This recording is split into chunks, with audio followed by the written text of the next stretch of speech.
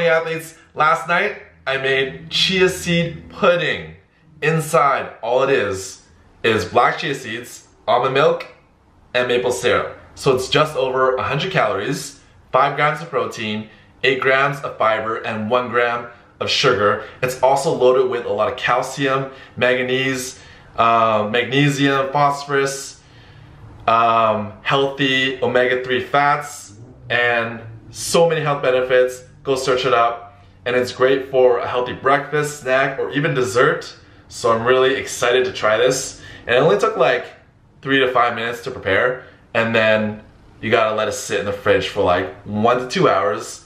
Or I think it's better to do the entire like night. Um, let's test it out. I find it weird eating in the washroom, but my parents are in the family room. Here we go. Whoa. Yo, it tastes like tapioca pudding. and there's a lot of protein in this. This is great. And it's supposed to fill you up for a long time. Wow. You guys gotta try this. This is my new dessert. Maybe not for breakfast, but for dessert, definitely. Yo, this is my dessert after my dinners. Yeah. All right, so right now I'm gonna walk you through how to make it. All you need is almond milk, maple syrup. I used honey on my last one, but maple syrup is actually vegan. Chia seeds, and cups. So for this recipe, it's technically two servings, but I'm gonna split it into four. For each cup, I'm gonna put one and a half tablespoons of chia seeds and half a cup of almond milk.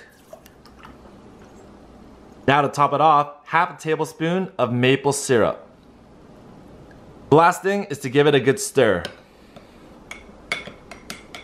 And that's it. It's so easy to make. You can top it off with like blueberries or other fruits that you like.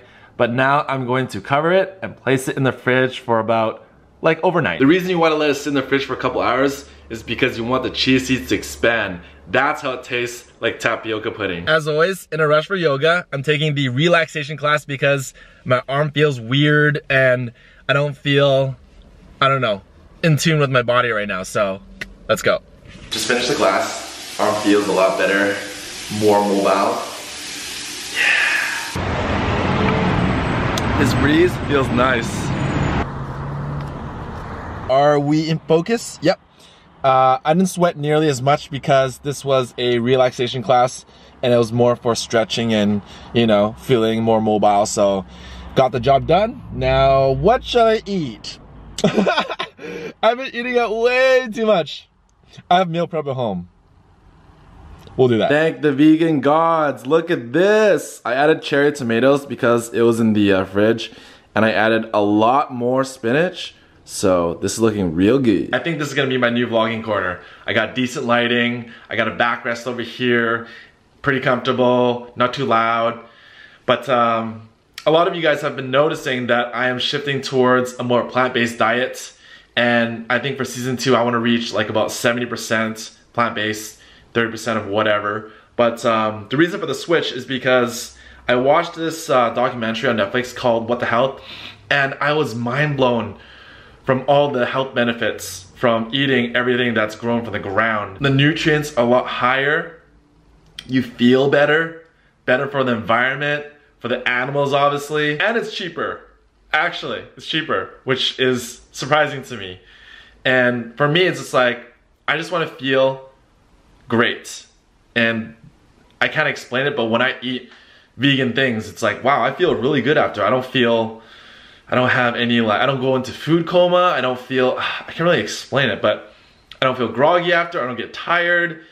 And it also prevents a lot of diseases like diabetes is in my family. Before I told myself, nah, I couldn't do this. I love meat too way, way too much.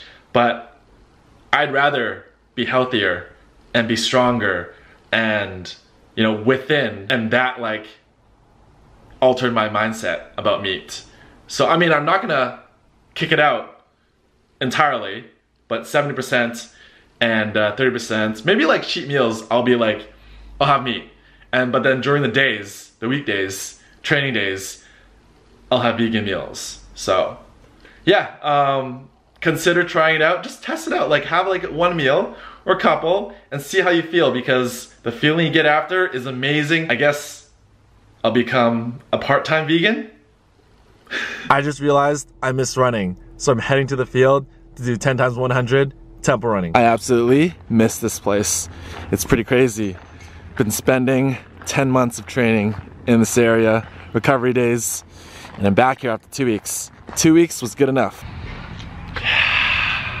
Thank God there's no games happening.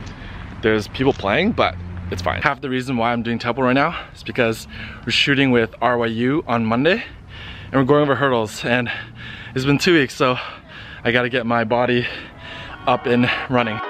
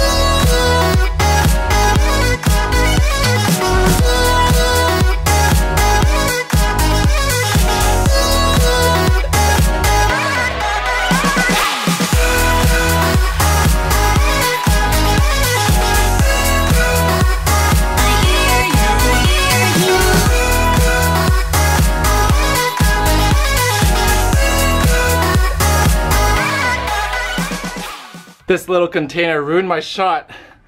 Get out of here. I'm not feeling too rusty. The only thing I'm feeling is the endurance, not as uh, I'm getting a little bit tired throughout the uh, the warm up. But uh, two weeks, a lot of food. It's expected. I just did 10 100s at 50% and I'm dead already. That was all mental. That was all mental power right there. Damn, okay, I think I'm gonna do start doing tempo a little bit more. I don't think I can go two months without running. It's this, this too much. Even though I'm doing yoga, but maybe like one to two times a week. Maybe one, at least one. This is kind of disgusting, but I had to show you this. Look at the sweat. When I'm eating clean, I don't sweat like this. But when I eat like junk, I start to sweat greasy. It's weird. Doing a barbecue tomorrow at Rochelle, so I'm in charge of the steaks. Gonna get the uh, triple A sirloin, some prime stuff. Screw that. The triple A sirloin was like 50 bucks. This is good. $21. Check out this combo right here.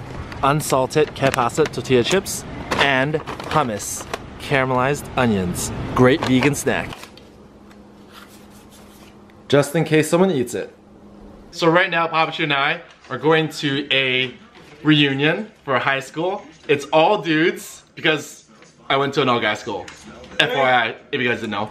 So it's gonna be a huge sausage fest, but it's gonna be pretty hilarious. We're gonna be super rowdy, and uh, you guys are not gonna see what happens tonight in this vlog. It's gonna be in the next vlog because I'm sure there's gonna be a lot of crazy antics and crazy events happening. I, I, I, I, I actually don't know what to expect because a lot of people that are coming. There's a lot of rowdy people that are coming. You think that I'm rowdy and Papa Chu's rowdy? Yo, there's some people that are like 10 times rowdier than us. So, um, yeah, I just wanted to end the vlog here, but let you guys know. Check out the next vlog for the rowdiness. So, uh, yeah, at Bisu, we uh, put a, a name down for 50 people.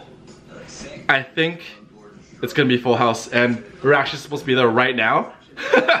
but uh, we're doing a little sip sipping and some snacking.